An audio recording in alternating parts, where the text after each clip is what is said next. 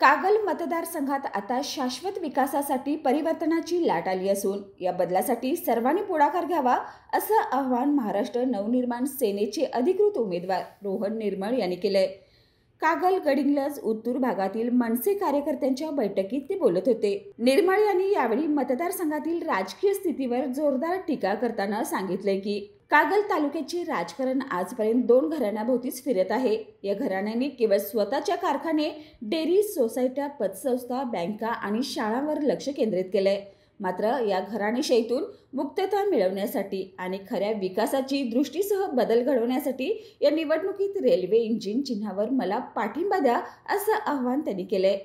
ज्यांच्यात नेतृत्व करण्याची क्षमता आहे ज्यांच्यात बदल घडवण्याची धमक आहे त्यालाच आता पुढं आणण्याची वेळ आली आहे असं सांगत त्यांनी तरुणांना राजकारणात सक्रिय होण्याचं आवाहन केलंय. उपस्थित मनसे कार्यकर्त्यांनीही परिवर्तनाच्या या लढाईत सहभागी होण्याचा निर्धार व्यक्त केलाय.